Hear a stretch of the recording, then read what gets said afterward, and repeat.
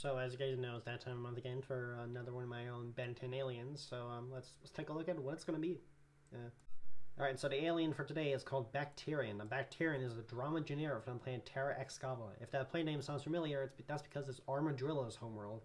Armadillo species are obviously based on armadillos, you know, type of desert animal. So I mean the drama genera be based on camels. Now, drama genera comes from the drum from dromedaria, a type of camel, and the name Bacterian comes from the Bactrian camel. So yeah. Uh, design. So Bacterian is a bipedal camel with two um, mechanical humps on its back. Now, those humps are not actually natural, but are mechanical add-ons that contain a large amount of acidic spit, more than later. Bacterian is around the same height as Rath and has green eyes.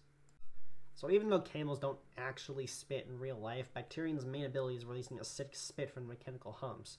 The spit can burn through steel, so you do not want to get hit by one of the spitballs. The spit also contains like a little bit of like um, bacteria in it, like that like combines with like the acid. So it's like that's what's called bacterium, like bacteria, bacterium. And you know, at the end of the day, Bacterian is still just a camel. He can only run as fast as a camel, so fast, faster opponents are a little bit tricky for him. He also can't spit if his tanks are empty or destroyed. But like when the Omnitrix times out and Ben retransfers in him, then like um, the tanks are refilled and ref and and fixed. And yeah, that's that's what it is.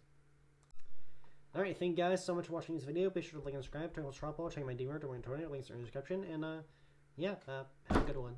Now, bye.